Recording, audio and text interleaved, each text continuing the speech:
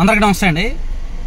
ముద్రగడ పద్మనాభం గారు ఇక మీదట ముద్రగడ పద్మనాభ రెడ్డి గారు. ఎందుకంటే ఆయన పేరుని ఆయనే మార్చుకున్నారు. రెండు వేల ఇరవై నాలుగు పిఠాపురం ఎన్నికల ప్రచారం సందర్భంగా పిఠాపురంలో గనక పవన్ కళ్యాణ్ గారు గెలిస్తే తన పేరు మార్చుకుంటాను తన పేరు చివర రెడ్డి అని పెట్టుకుంటాను అని ముద్రగడ పద్మనాభం రెడ్డి గారు ముద్రగడ పద్మనాభ రెడ్డి గారు సవాల్ చేశారు.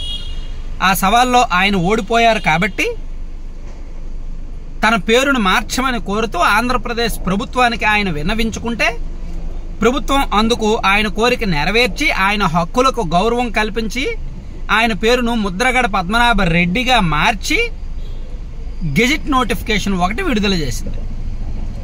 అయితే పేరు చివర తోక తగిలించుకున్న మాత్రాన ఆయన ఏమి ఆ కులస్తుడు అయిపోరు కానీ పేరు మార్చుకున్నారు. ఆయన అంటే ఆయన ఒక సవాల్ చేశారు ఆ సవాల్కి తగ్గట్టు. ఇక్కడ నేను చెప్పాల్సింది ఏంటంటే ముద్రగడ పద్మనాభం గారి వయసు బహుశా డెబ్భై డెబ్భై ఐదు అలా ఉంటుంది అనుకుంటున్నా ఆయన వయసు.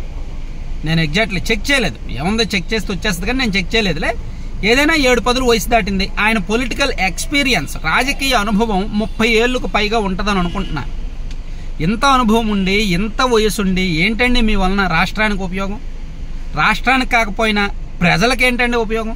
ప్రజలకు కాకపోయినా కులానికి ఏంటండి ఉపయోగం? మీ కులానికి ఏమిటండి ఉపయోగం? కులానికి కాకపోయినా మీ నియోజకవర్గానికి ఏమిటండి ఉపయోగం? పోనీ మీ నియోజకవర్గానికి కాకపోయినా మీ ఊరికి ఏమిటండి ఉపయోగం? ముద్రగడ పద్మనాభ రెడ్డి గారు ఒకసారి ఆలోచించండి సార్. మీరు పెద్దలు మీరు రాజకీయంలో మీరు చూడని ఎత్తు పల్లాలు లేవు. లోతులు చూశారు ఎత్తులు చూశారు. ఎమ్మెల్యే అయ్యారు మంత్రి అయ్యారు పెద్ద పెద్ద వాళ్ళని ఢీ కొట్టారు ఉద్యమం చేశారు కంచాలు వాయించారు ఎన్నెన్నో చేశారు. తెలుగుదేశం పార్టీ హయాంలో కాపులకు రిజర్వేషన్లు కావాలా? రాష్ట్రంలో టీడీపీ అధికారంలో ఉన్నప్పుడు కాపులకు రిజర్వేషన్లు కావాలా? కాపు రిజర్వేషన్ల కోసం మీటింగులు పెట్టి పోరాడతారా? కులాన్ని రెచ్చగొడతారా? కులంలో సెంటిమెంట్లు ఉద్యమాలు ఎమోషన్స్ రెచ్చగొడతారా? వైసీపీ అధికారంలోకి వస్తే కాపులకు రిజర్వేషన్లు అక్కర్లేదా? అక్కడే దొరికిపోయారు మీరు. ముద్రగడ పద్మనాభ రెడ్డి గారు అక్కడే దొరికిపోయారు. ఆయన పొలిటికల్ ఇంటెన్షన్ ఏంటో ఆయనకు ఒక పార్టీ పట్ల ప్రేమ ఏమిటో అక్కడే దొరికిపోయారు. సరే దొరికితే దొరికారు. ప్రతి వ్యక్తిలో కూడా ఒక పార్టీ పట్ల ఎంతో కొంత అభిమానం ఉండొచ్చు. అలాగే ఆయనకు వైసీపీ అంటే అభిమానం. కాబట్టి టీడీపీ అధికారంలో ఉన్నప్పుడు ఆ ప్రభుత్వాన్ని ఇబ్బంది పెట్టి వైసీపీ అధికారంలోకి వచ్చాక తన ఉద్యమాన్ని విరమించుకొని సైలెంట్ అయ్యారు అనుకోవచ్చు. అలా అనుకొని మనం సైలెంట్గా ఉండొచ్చు. కానీ తన చివరి దశలో ఆయన పేరు మార్చుకొని పనికి మాలిన సవాల్ చేశారు. పనికి మాలిన సవాల్.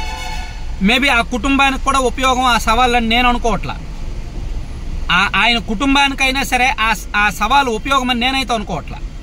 ఆయనకు వ్యక్తిగతంగా కూడా ఆ సవాలు ఉపయోగమని నేనైతే అనుకోవట్లా. ఒక పనికి మాలిన సవాల్ చేసి ఆ సవాల్ను నెరవేర్చుకొని నేను మాట మీద నిలబడ్డాను అని నిరూపించుకోవడానికి తాపత్రయం.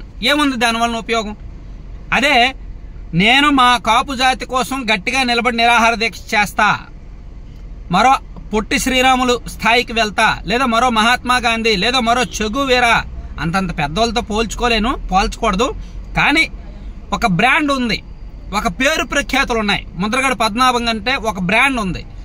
కులంలో ఒక పట్టు ఉంది. ఒక వర్గం ఉంది. రాష్ట్ర వ్యాప్తంగా పేరుంది. గతంలో మంత్రిగా చేసిన అనుభవం ఉంది. రాష్ట్ర పరిపాలన వ్యవహారాలు రాజకీయం మొత్తం తెలుసు. ఇవన్నీ తెలిసి చివరి దశలో ఎందుకు తప్పటడుగులు? మా శ్రీకాకుళం సైడ్ ఒక సామెత ఉంటుంది గజేతగాడి గడ్డలో పడిపోయాడని. సేమ్ ఇదే జరిగింది. అంత పేరు ప్రఖ్యాతలు సంపాదించి అంత అనుభవం సంపాదించి అంత కులంలో పట్టు సంపాదించి చివరికి ఇది చేసింది. పేరు మార్చుకున్నారు. నేను ఇక్కడ పేరు మార్చుకోవడాన్ని తప్పు పట్టట్లా ఆయన ఇష్టం. కానీ పనికిమాలిన సవాల్ కదా. ఆ సవాల్ వలన ఎవరికైనా ఉపయోగం ఉందా? ఎవరికైనా ఏ ఈ భూ ప్రపంచం మీద ఉన్న ఏ ఒక్క జీవికైనా ఆయన ఇంట్లో తిరిగే రోకల బండకైనా ఉపయోగం ఉందా? ఎవరికీ ఉపయోగం లేదు. తనకు కూడా ఉపయోగం లేదు. ఒక పనికి మాలిన సవాల్. దేశానికో రాష్ట్రానికో అట్లీస్ట్ తన ఊరికి తను పుట్టి పెరిగిన కిర్లంపూడి గ్రామానికి కోటి రూపాయలు నిధులు ఇవ్వండి పవన్ కళ్యాణ్ గారు మీరు నిధులు ఇవ్వకపోతే నేను ఊరుకోను అని సవాల్ చేయండి. నేను పుట్టి పెరిగిన ఊరు మా ఊరు కిర్లంపూడి. మా ఊర్లో నా- నాకు ఫస్ట్ నుంచి రాజకీయంగా నా పల్లకి మోసారు మా ప్రజలు. సో మా ఊరికి కోటి రూపాయలు ఇవ్వండి మా ఊరు మొత్తం సీసీ రోడ్లు చేయండి మా ఊరు మొత్తం డ్రైన్లు నిర్మించండి అని సవాల్ చేయండి. ఆ సవాల్ నెరవేరకపోతే అప్పుడు మీరు ఇటువంటి నిర్ణయం తీసుకోండి.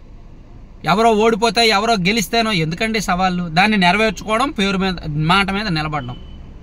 నా వ్యక్తిగత అభిప్రాయం మాత్రం. ఇదంతా కూడా ఒక ఒక పదిహేను సంవత్సరాల నుంచి ఈ సమాజాన్ని ఈ రాష్ట్రాన్ని ఈ రాజకీయాలని క్షుణ్ణంగా పరిశీలిస్తున్న వ్యక్తిగా నా వ్యక్తిగత అభిప్రాయం మాత్రమే నేను చెప్పాను ఇందులో నాకు ముద్రగడ పద్మనాభం రెడ్డి గారి మీద నాకేమీ కోపం లేదు లేదా ఆ పార్టీ మీద ఏమీ లేదు.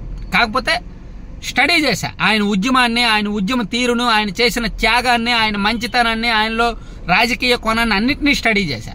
అన్నిటినీ స్టడీ చేసి చివరికి ఆయన తీసుకున్న ఈ నిర్ణయంతో షాక్కి గురయ్యి ఈ వీడియో చేస్తున్నా. Thank you.